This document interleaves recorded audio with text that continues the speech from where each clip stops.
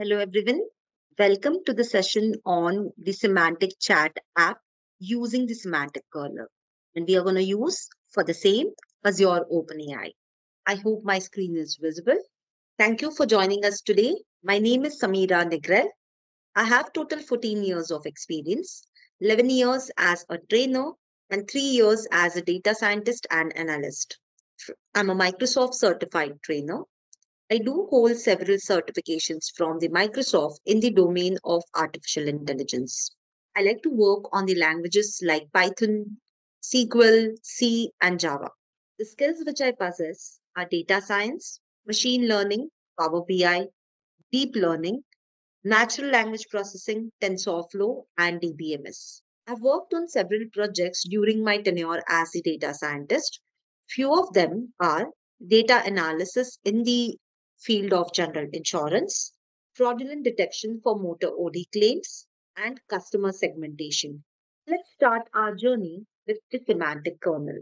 So what we are going to do is we are going to understand about the semantic kernel overview today. We'll be focusing on the concept of what is native functions versus what is semantic function. We'll also understand about the basics or the overview of the semantic kernel and then we'll move towards the semantic kernel operations. Let's get started and understand about the native function versus the semantic function and how it helps us as the novice. So what native functions are? These are the old functions, like where you should be aware about how to write the functions. So these functions are very conventional for the coding. Let's say if I want to write the addition of two numbers, using Python. So I would say def as the keyword, and then I would give a function name. Let's say add. Then I'm going to pass certain parameters like number one, number two. And then I may write certain code here.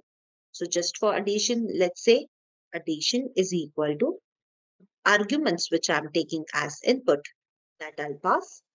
And then I may either return or print the addition. So when I'll call this function add and do this add function, if I'm passing values like 5 and 10, it will display the result as 50. So what this native function is? Native function is something where one should have knowledge about writing a complete code, be it in a Python language or be it in any other language. So you should have complete knowledge about the same.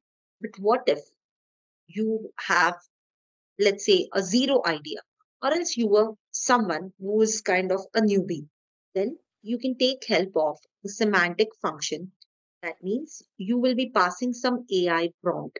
And using that AI prompt, the semantic function will help you to generate the respective output. So what semantic function is? They are special because they are powered by the natural language. What are you going to do in the semantic function? You will be just passing the prompt. So you are going to say, I want to add two numbers and you will specify numbers. Only that's it. So the addition of these two numbers will be done. So in the backend, this code will be executed via the semantic code. And using that, the output will be given to you as 15. So how does this work? You are writing a code, you are executing, you are getting a result in the native function. But if you'll move towards semantic function, what happens is you are passing a prompt. So prompt is basically an input which you're going to provide from your side. This prompt will be given to the LLM model, a large language model, which will understand the meaning behind what you have passed. That LLM will provide some information or it will take some information from the semantic and then the results will be given to you. Let's understand again the difference between the semantic function and the, uh, sorry, native function and the semantic kernel. So what native function is? It will save some information, it will look things up and it will perform action. So it will try to find out or else, let's say we are saying argument to one, or I'll take the same example. Let me just, so when I say def add num1 and num2, and then I may say addition is equal to number 1 plus number 2 and then print addition. So this whole code will be saved in the native function. Then it will look for certain things. So when we say add 5 comma 10, it will check where this 5 should be passed and where this 10 should be passed. So now this 5 will be provided in the number 1 and 10 will be provided to the number 2. So then number 1 will be replaced by 5, number 2 will be replaced by 5. So addition will be counted as 10 and it will print the addition. Sorry, addition will be counted as 15 and it will print the addition as 15. So it will perform action based on what is saved and based on what things we are passing. Wherein what semantic function will do? Semantic function will take your input. So we can consider it as a human being who has the ears. From the ears, the human being is listening. So somebody is saying, let's say XYZ person is talking to PQR person. XYZ is saying, add two numbers and they are 5 and 10. So this input from the XYZ has been given to the PQR's ears. So PQR will listen to the input. Then what input the person has passed, that will be given to the brain. So the brain for the semantic function is the LLM model. It will try to understand what has been written, some sort of understanding will be performed, and then it will activate a function which will perform the action and then result will be generated, that 15. The PQR will provide the result as the output. So we can say PQR person is giving the result to the XYZ again via its mouth. So it has the ear, it has brain, and it has mouth. From the mouth, whatever the response is coming, that will be given as the output. So prompt is basically the input, response is output, which is generated and this input or the prompt will be a natural language input. So the person need not to have the idea about what the detailed coding is. We've taken a very small example. It could be anything, any complex. So how the semantic kernel is and what is its overview? Let's talk about this. So it's basically a open source platform or a open source SDK provided from the Microsoft. So it's a software development kit which is open source. That means it's free and you can also modify certain things, which allows you to easily build AI agent. You can build AI agent to answer the questions and you can automate the task using the AI model at the backend. So what as user you are going to do? You're going to pass the input. AI will perform some task and you will get the output. So there are three components which are available in the semantic kernel. We generally consider them as the important aspects. So foundation model, which you can see here, the foundation model, like it will have a LLM model from the OpenAI, Azure OpenAI or Hugging Face. So various models which will understand what input you have passed. There are certain plugins also external APIs or codes that you want to integrate to the LLM model. So like a Copilot or it could be Outlook API, Logic Apps, Bing API, something which you want to integrate from the outside. And this you're going to pass via the AI orchestration. So it's a lightweight SDK named semantic kernel. So this AI orchestration is basically your semantic kernel which will allow you to automate the integration between this foundation model and what plugins you have used. So let's say you have your large language model from the OpenAI and then or else you have the Azure OpenAI model. You have created some Azure OpenAI model. And then on top of this Azure OpenAI, you're passing input via the Bing API. So to have some sort of orchestration between these two, what we require is the AI orchestration. This is a very lightweight SDK, which will help you to automate the integration between this Azure OpenAI, the foundation model, as well as the plugin which you are passing. So that can be any plugin. How does this semantic kernel operation works? So what we have done is this whole diagram, we have just reversed in the next slide. So the first is via the plugin, you're going to pass the trigger. So what you're going to do is this first, you're going to pass the task. So it is going to take the complex code from the plugin and it will understand what the task needs to be carried out. Let's say you're saying add two numbers. So that would be the first part, that passing just the input, which will be provided to the semantic kernel. So what semantic kernel will do? Semantic kernel will try to break down this into smaller, smaller, understandable tasks. Let's say you are saying add two numbers, 5 and 10, and subtract also. So these are two tasks. These two tasks have been broken down via the semantic kernel. So one would be add, another would be subtract. Then this task in the step two, it will be connected to the memory. So the model and memory, it will be connected via the connectors. So what's happening here? The semantic kernel will check for the memory of the AI model. That's the brain, basically. And if these tasks can be carried out, I mean, within the memory, there should be some sort of tasks available. If these tasks are available, like sending email or generating images or summarizing various tasks. So if it is available, then it will accept. Otherwise, it will get rejected. Then what task? So there could be, let's say, a task which is capital add and there is sum. These two tasks will be given again to the semantic kernel. So it will identify the task and then these tasks will be performed or run. So for 5 plus 10 will be given to here and it will give us 15 where there would be 5 and 10 and let's say 5 minus 10 so minus 5 this performance will be done here. Before that we need to identify the several tasks. It could be combination of multiple things.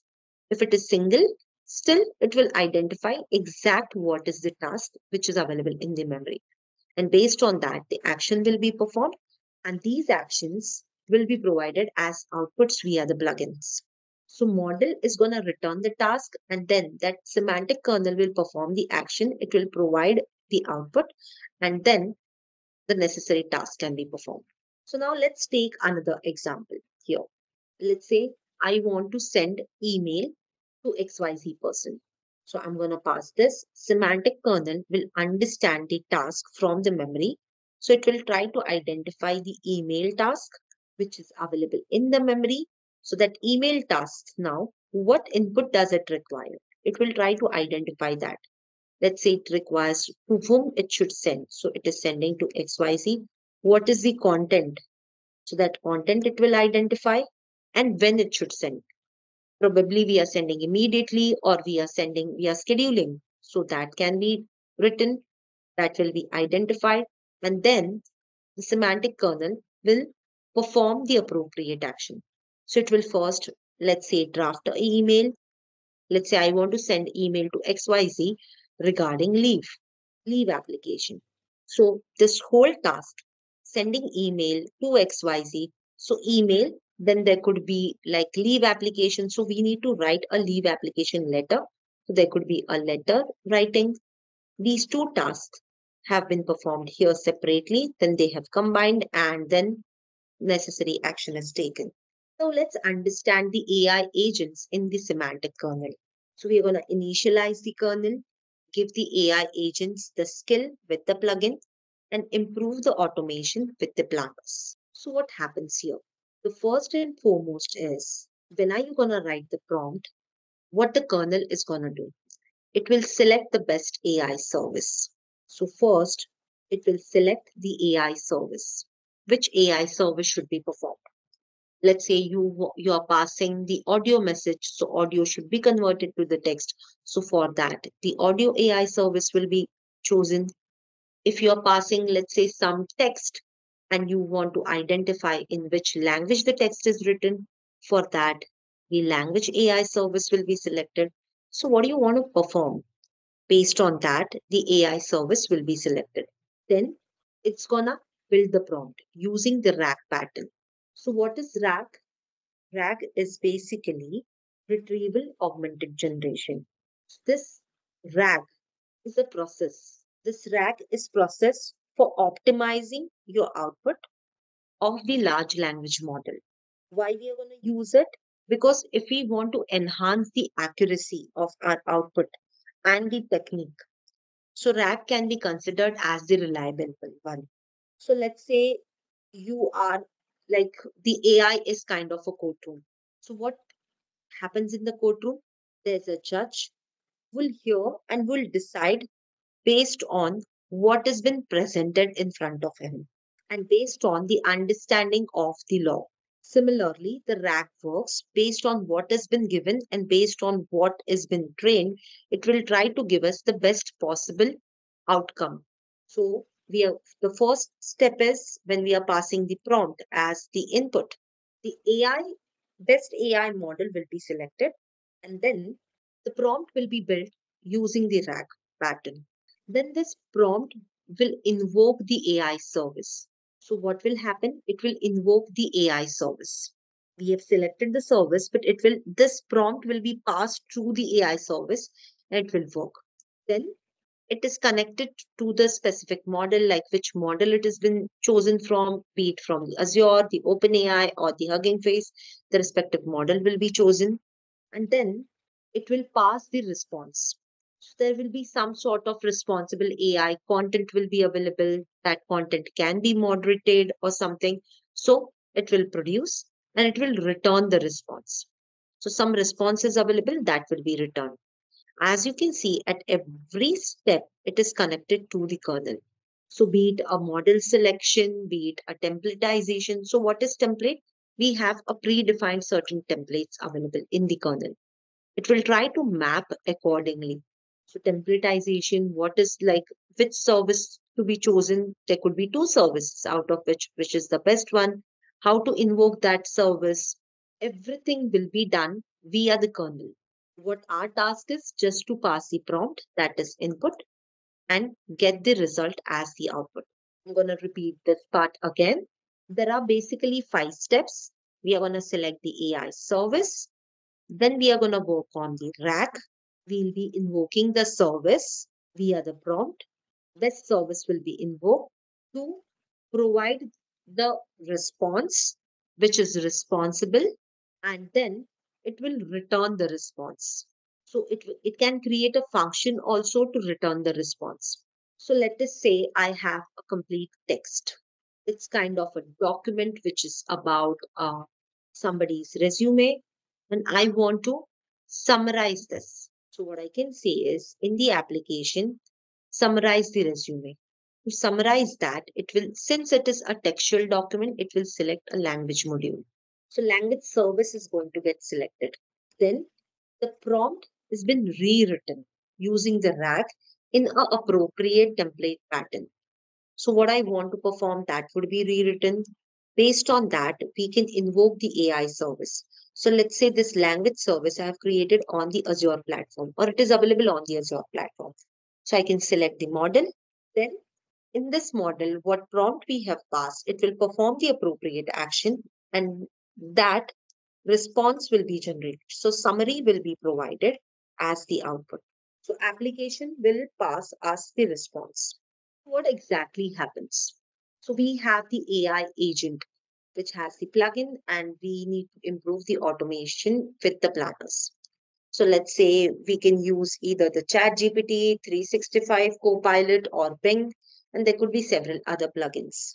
So these are the AI plugins. To the AI plugins, any plugins you can build and can be exported to any systems like Microsoft 365, Bing or Office. To this, you're going to pass some sort of input let us say write email.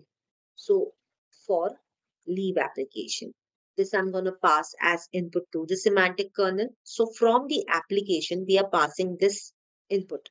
Mm, just so here in this application, you're going to pass input.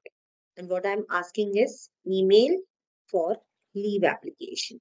This input I'm going to pass to the semantic kernel. Semantic kernel will call any of the plugins let's say it's calling the chat GPT. to write the email.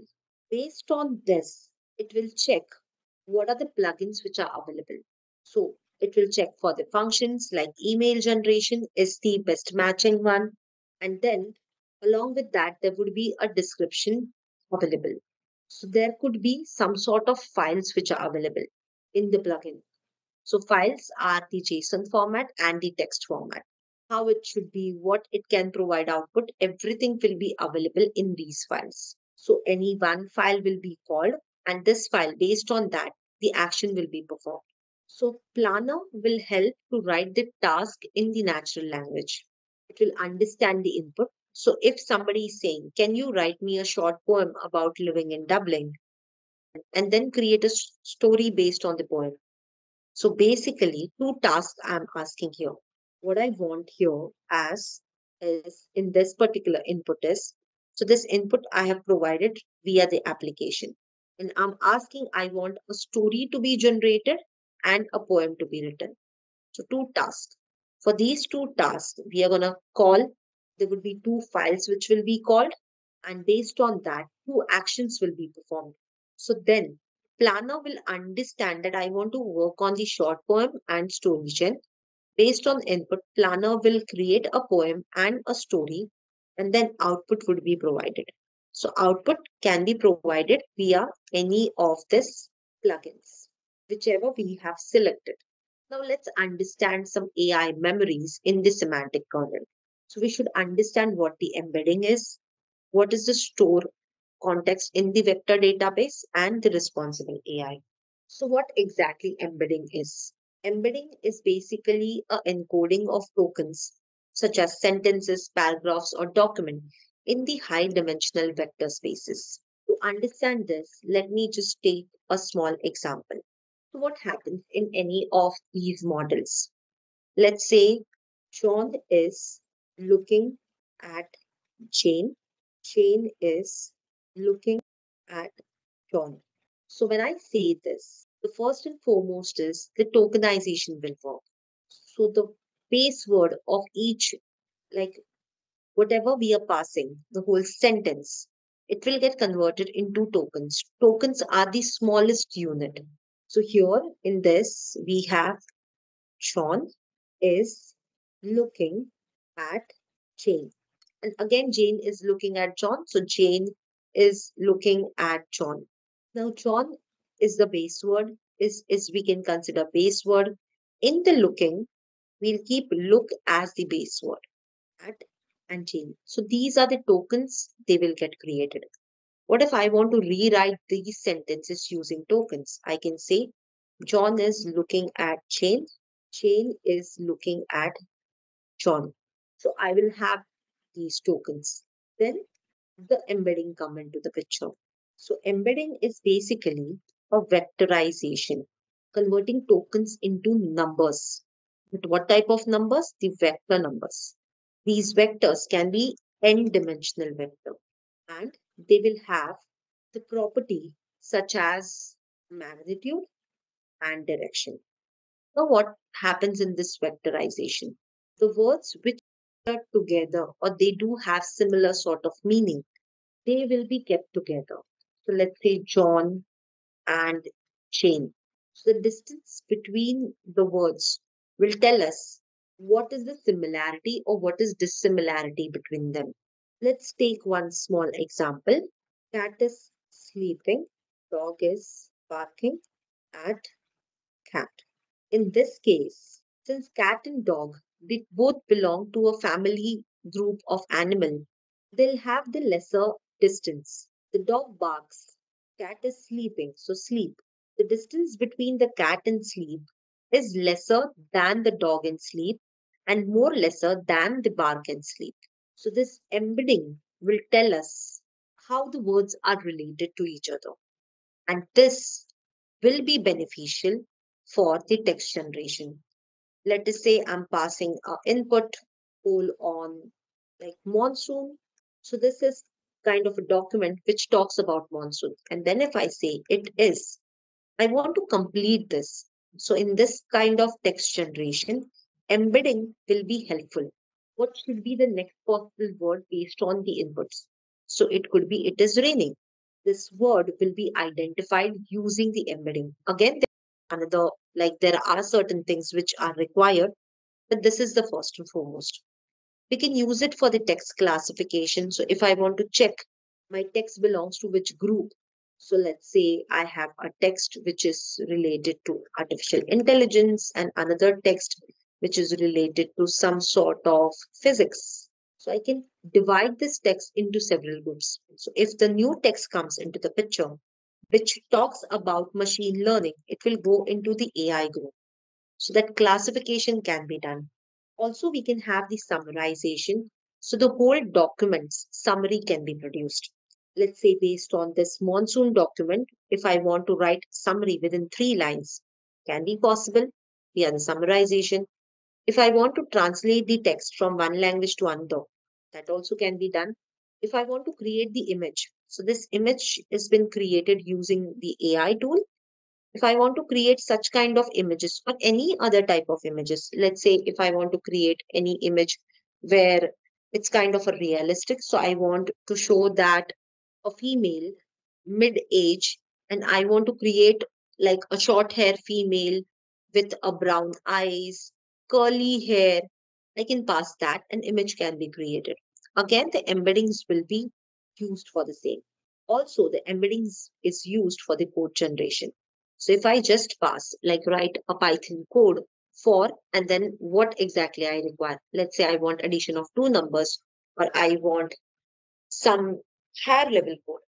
Everything works on the embedding. So it's basically a type of database which stores the data as a high dimensional vector. They can be considered as the store context. So vector database is basically where magnitude and direction can be stored. And it can be two dimensional minimum. It goes up to n dimensional. So we need to find out the, or we need to use the vector database.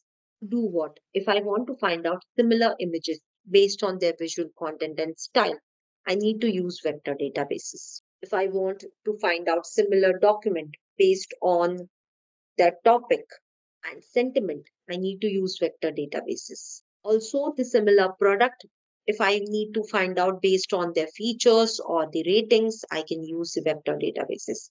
So I can use Azure Search, I can use Synapse, and I can use like uh, Azure AI Search, Cosmos DB, PostgreSQL Server. I can use these to store the context in the vector databases. Now we have come to the very important aspect where we can consider the responsible AI. Now we are working towards the AI or the generative AI per se, we can say that where the machine or a system is providing us the response. So there are certain guidelines which are provided from the Microsoft side, which are common, we can say, over almost every cloud platform. We need to be fair. We need to be fair in the sense that there is no bias. So if I'm creating any particular system, I cannot be biased towards gender, race, or community, knowingly or unknowingly. Let's say I want to write an article about the innovations happening in the IT industry. So if I'm writing article and when I say I want to write article and uh, talk about, let's say, Jeff Bezos and Sundar Pichai, and if I'm including only few names, that means I'm being biased towards probably. And if I include only, let's say, males, if I'm not including females, I'm being biased. So I'm not being fair towards my output we need to see that our output, what we have received, is very fair. Depending on our requirement, we can modify our input accordingly. Then there is inclusiveness. So, what is inclusiveness? Included, inclusiveness means no one is left out. We need to include each and every one in this. Let's say I have a, I'm in an organization where a fingerprint has been required and all fingerprints all 10 fingerprints are required to enter into the organization what if there are few people in the organization who's who do not have probably a one finger or two fingers missing or the person's some disability so we are leaving them out we should create such a system so that we nobody is left out. The solution which we are using, it should be reliable and safe. So let's say I am driving a automotive car. Now this car, when it was trained, generally how does the automotive car works? They take snaps of all the directions, all the like pictures or images have been taken based on all these images which are taken at a particular moment. Let's say moment is 10:25 a.m. At this, what is the surrounding? Based on that, it will take decision. But what if the car is trained only to check this part? So, so it's only for this part and it's not checking the behind. So there is a possibility that there may be the accident can happen. In this kind of scenario, it is not safe to use. It is not reliable to use a particular AI system. So it should be tested thoroughly before coming into the market. We can consider the data which we are taking from the users or data which we have. It should be safely kept. There should be security measures which are adhered and privacy is maintained the person who's using the product they should be aware about where it is used how it is used. So let's say you are gathering data. Your organization is gathering your fingerprints for the attendance mechanism. So they should let you know how it is stored where it is stored probably and who is going to have access. So if any misuses can happen that can be avoided if the system is transparent. And lastly, but it is not the least, accountability. It's very important that if anything goes wrong, who will be responsible? That needs to be properly documented. So these we can consider as the very important considerations for the responsible AI. Now, let me just move to a demonstration. So for that, what we are going to do is I'm going to work on this. So let me open a settings pane. First and foremost, what we require in the settings is we need a OpenAI Azure endpoint. So this endpoint, like since we are going to work on Azure, so we need a Azure endpoint for the OpenAI. So for that, you need to have the Azure subscription. In that Azure subscription, you should have the Azure OpenAI access and then you can create Azure OpenAI service. Once you have created this service, you can go to the key endpoint page and you will find the endpoint available here. This endpoint you're going to use here and this endpoint you can use for the connection. So basically billing and everything will happen under this. Then you can ask for the model. So this model where you will get, again, you can move to the Azure OpenAI open the OpenAI Studio and here you can create a model based on what is required. Right, let me just note this. Just allow me. I'll log in. Let me just log in and I will be back. So here in the OpenAI Studio, let me just open. I need to sign in with another. Just allow me. I'll open in the incognito. The OpenAI now, here you can see once you open the OpenAI, under the deployments, you will model. So you can create a model. Now, when you're creating model, we need to use the GPT-35. I have used GPT-35 Turbo Instruct for the same. So this model I have created and this deployment name, I have passed it here. You can see. Then one more thing is required. We need the API key. So this API key you will find under the key and endpoint. You can choose any one key, you can copy and you can paste it here. Once this is done, now you don't need your Azure OpenAI platform. What we require from the Azure OpenAI is we require the endpoint, the key, and the model name. And we are uploading this in settings. So now let's move to the first part, so here we'll understand just that our console or .NET Interactive is working or not. And for this, what we need is Polyglot. So if it is installed or not, and everything will be cross-verified. So as you can see, it is checked. Now let's move to the second one.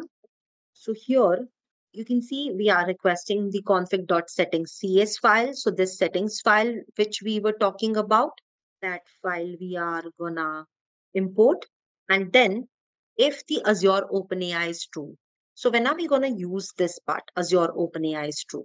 This will be used when you are working on the Azure OpenAI.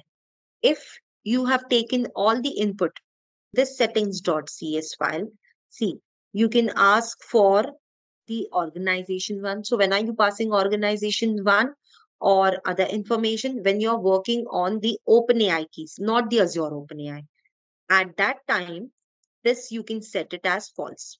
Let me just move up. This you can set it as false. So here, this will check the OpenAI endpoint, checking the model, API, everything is available or not. Based on that, once this is done, then let's say this config.json. So this is we have created and it has created this settings file. So you can see all this information is available. Let me just move it. And what I'm going to do is I'm going to run this again. So once it is run, you can see settings.json is created and based on what is available in the settings file, this file will get created. So we don't need to run this because it will help me to reset information. And then here you can see I'm passing, I'm asking for connect to the semantic kernel and everything, configuration, all these details. And then if my Azure OpenAI is create available, what I'm going to do is I'm going to work on text completion. And for that, you can, instead of DaVinci, you can use any other name here. This is just for the like passing purpose. It's going to connect to the specific model using the endpoint and the key. So endpoint key, everything. So it's going to connect now to this Azure OpenAI. So all the packages are installed. Everything has been done. And now let's say we are going to pass input. So summarize the content above in less than 114 character, 140 characters, whatever input we are going to pass. And then a string has been set to use the semantic function will be provided to us as the output. So this is executed. Still, we have not passed the input. So whatever input we are going to pass, that will be summarized in less than 140 characters. So as you can see, we are providing the completion model. What are the maximum tokens? What is the temperature? What is the top P? You can either adjust here or you can set it on the Azure OpenAI platform. So that's completely up to you. You're going to pass some sort of input to the prompt. So it's going to call the semantic function, configuration, kernel wise. And based on that, we are going to pass this. Then this is the input we are going to pass. And what we require is we require the summary. And this summary will be provided to us. So for that, we are going to use the summary function, which is available here. And this summary function is calling the register summary function from the semantic kernel. So to that, we are passing what is the skill, what is summary, and the function config. So all this function, semantic function, inline, everything will be passed here. And you can see that it's providing us the summary. You can modify this and whatever it is, the summary will be provided. The summary is provided us less than 140 characters. So this is about how we can work on summary. So one file, probably say you have the multiple skills. So let's just check one skill here you can see I have a config file and a text file. So this config file, I can set the configuration, how I want and everything. And in the text file, what it should be input, how it is, what could be the, you know, response it is provided if that is the input. That kind of some sort of examples are available. So let's run this. So we are going to install pre-packages, certain things what we require. We are going to again connect it to the text completion. And then like in the skills, we have fun skills and these are the fun skills. Similarly, there are chat skills. So we can connect. So it is importing the semantics uh, skills from the directory, the fun skills. The my skills will be imported. And then if input is time travel to dinosaur's age, we'll see what could be the result and output. So excuse is giving, sorry, I got caught up in the game hide and seek with the T-Rex because it is talking about the dinosaurs. If you want output in, let's say, a poetic way or something, there are several skills which are available. We can work on that. So we are going to set the context input going to the department store and we'll see that it is providing output. What did this snobby shopper refuse to buy anything at the department store? So it's getting connected between these two, and based on that, it's providing us the joke as so whatever setting context we are doing, based on that, we want skills as joke, which we are running, and it's creating a joke based on that. So these are like predefined functions which we are using. We are providing just the context from our side and we are getting the output. So that is it from my side regarding this. The floor is open. If you have any questions, feel free to ask. So before we proceed with the question answer, I'm going to share certain courses which are available from our side in the chat box. And I'll show you one of the course. Let me share my screen again. So build a Copilot app using Azure AI Studio and Semantic Kernel will help you to understand the, whatever we have discussed today in detail. So if you want to check the course content, this is a two days course where we are going to work on how we can build NLP solutions using Azure AI Studio or how you can chat Copilot using Azure AI Studio, introduction to prompt flow design, creating AI agents, and then there would be hands-on in everything. So all the course names I have pasted in the chat box, which you can refer. These are the various. You can choose any one depending on your requirement. Uh, hi, Samira. Small announcement from my side. Yes, Nicholas. Uh, uh, thank you everyone for joining, and thank you, Samira, Samira, for that lovely session as usual. It was lovely to have you. If anybody wants to uh, go ahead with this training and wants to have this session with us, I have shared my email in the chat. Uh, kindly forward me your details so that our expert can get back to you with the required details for this training. And kindly please do fill in the attendance sheet as well for your webinar certificates. And uh, yeah, see you soon in the upcoming webinars. Uh, thank you everyone for joining and Samira, you can continue with the webinar Q&As. Thank you, Nicholas.